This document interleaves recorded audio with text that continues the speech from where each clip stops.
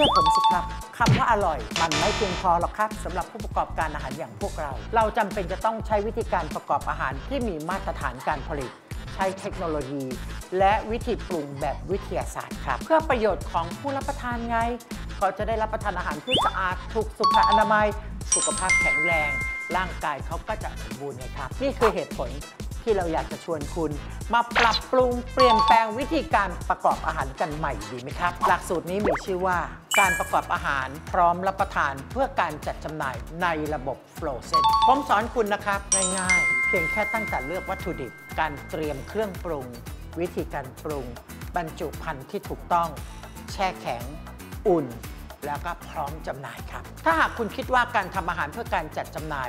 ต้องใช้เทคโนโลยี ต้องมีวิธีการประกอบแบบถูกต้องตามหลักวิทยาศาสตร์ ตามมาตรฐานการผลิตแบบสากลแล้วก็